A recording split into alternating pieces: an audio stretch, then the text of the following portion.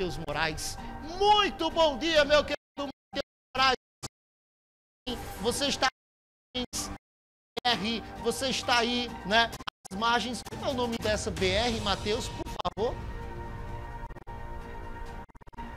Oi, Otávio, bom dia para você, bom dia para quem acompanha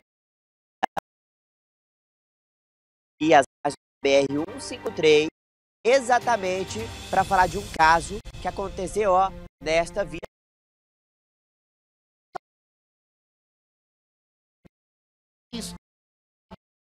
Tem um cavalo se coçando aqui, ó, do lado esquerdo, ó. Tá, os links do Matheus, assim, ó, tem cavalo, né? Tem bicicleta, tem cachorro, tem de tudo um pouco, né, Matheus?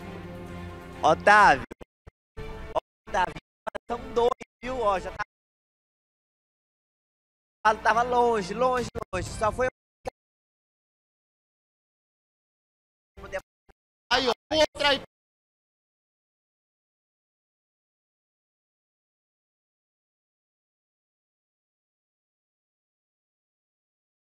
Porque eles estão às margens da BR, né? E o que pode também ocasionar, Matheus, agorinha, sobre né, acidentes de duas matérias, uma seguida da outra, sobre acidente de trânsito. E isso preocupa porque esses cavalos aí podem né, invadir aí a BR e causar uma colisão e pode gerar até uma morte. Estão soltos, né? Estou aí, ó, ao Deus dará. E isso é preocupante, né, Matheus? Ah, com toda certeza, Otávio. Olha, aqui mesmo nesse trecho em Mira Norte, isso é muito comum ver aí cavalo, vacas também. Isso é muito comum aqui nesta, nesta área, aqui nesse perímetro. Eu não me recordo de ter acontecido aí algum acidente, mas é muito importante este ponto que você destacou, porque é muito perigoso, é muito arriscado. Pode ser que até agora não tenha acontecido nada, mas vai saber, né, Otávio? E isso pode, com toda certeza, provocar aí um acidente grandioso você estava falando, um cavalo já atravessou, o outro também já está atravessando nesse exato momento, ó. Mas que Deus me livre, né? Aparece uma motociclista e acaba colidindo, né? Então isso é, é, muito preocupante, principalmente durante a noite, onde a visão é um pouco reduzida, né? Mas não é sobre isso que nós vamos conversar, Matheus. Foi o que aconteceu aqui durante o nosso link, né? Mas seu final de semana, primeiramente, foi bom, foi tranquilo, descansou. Eu vi que você chegou um pouquinho mais tarde hoje, né? Oh, e aí, como é que foi seu final de semana? Olha, Otávio, a gente tinha até combinado que eu seria o primeiro, mas olha, só para destacar, eu já estava aqui, vídeo prontidão, porque a gente teve alguns probleminhas, mas tudo resolvido. Rapaz, olha, final de semana foi top, foi daquele modelo, daquele jeito que eu gosto. É, bebi muito refrigerante, é, comi bastante, e é isso. É isso, né? Sei. Aham. Uhum. Ó, deixa Deixa eu dizer um negócio. Eu tô vendo é, é, o, o, cenário aí que você tá ao fundo. Parece que vai chover por aí, viu, Matheus?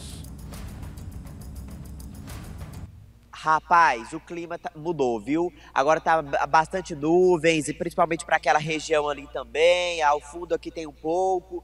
Olha, eu acho que hoje vai dar, vai dar aquele torozinho, viu? De hoje para amanhã vai chover. Tomara, viu, Otávio? Que é bom que fica aquele climinha já mais tranquilo, mais razoável, né não? Porque tá Verdade. quente, rapaz. Tá quente, quente, quente, quente. Pegando quente o suficiente para você jogar um ovo aqui, ó. Ele sai frito em um minuto. Meu Deus do céu. Mas, ó, vamos falar do assunto de hoje, porque o que é que acontece, Matheus? Eu fiquei sabendo que a Polícia Rodoviária Federal estava fazendo o seu trabalho quando se deparou com uma caminhonete com mais de 400 mil reais em dinheiro. É, e outros 85 mil dentro de uma bolsa que estava no motor do carro de passeio. E os suspeitos foram presos por estelionato, Matheus. Que 85 mil dentro do motor e mais outra quantia ali dentro da caminhonete. Matheus, esse dinheiro era de quê? Estelionato de quê, Matheus? Me conta.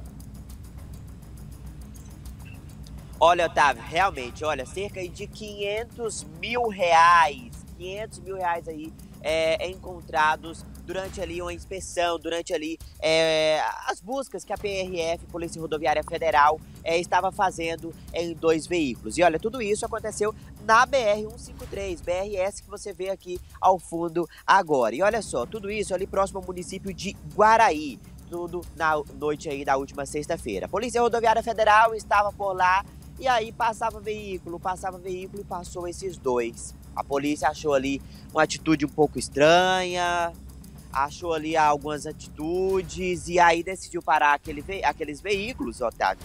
E olha, ambos os dois ali é, possuíam antecedentes criminais. Um estava em uma caminhonete, uma Hilux, um homem de 54 anos, e o outro ali, um homem é, de 51 anos, conduzindo um Corolla. Durante a vistoria, é, na caminhonete, ali próximo ali ao compartimento do motor, foi encontrado mais de 408 mil reais. Só ali naquele primeiro momento. É claro que a Polícia Rodoviária Federal não parou por ali, Otávio. E aí começou então também, se nesse tem, com toda certeza no outro veículo, no Corolla também vai ter. E é claro, eles começaram ali então a fazer as buscas ali naquele outro carro e encontraram uma bolsa. E dentro dessa bolsa, ah, começaram a achar notas de 100, notas de 50. E aí foram contando, contando, contando, contando. E totalizaram ali, Otávio, mais 85 mil reais. Ou seja, né? Muito dinheiro, muito dinheiro. É, no total ali, ao, ao todo, foram apreendidos mais de 493 mil reais. Questionados sobre a origem deste dinheiro, ambos falaram ali que era estelionatários eles confirmaram isto para a PRF. A PRF perguntou do que, que, era aquilo e tudo mais, e eles simplesmente confirmaram é, é, para a polícia. Os dois então foram encaminhados para a Polícia Civil. É, a princípio foram constatados os seguintes crimes: estelionato, lavagem de dinheiro ou ocultação de bens, direitos e valores. Otávio, muito dinheiro, Otávio. É, muito dinheiro. 500 mil reais. É, só para quem está em casa ter uma noção, né?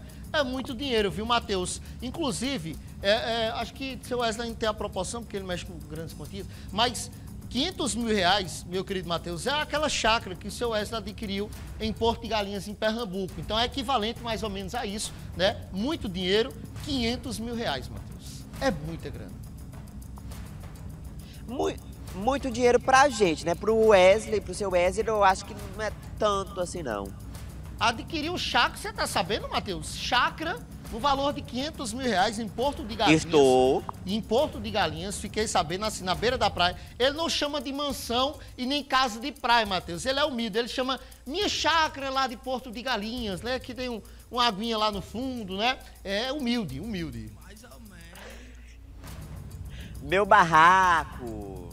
É o barraco que eu tenho lá em Porto de Galinha, tá? Ei, Matheus, muito obrigado pela participação. Se chover, me traga novidades da chuva que eu tô esperando por ela, já tem tempo, não a vejo em canto nenhum. A chuva no Tocantins está igual o salário da gente. Quando você pensa que caiu, já foi embora, né? Mas ó, estamos aqui à espera, viu, Matheus? Qualquer novidade você entra ao vivo comigo, tá bom?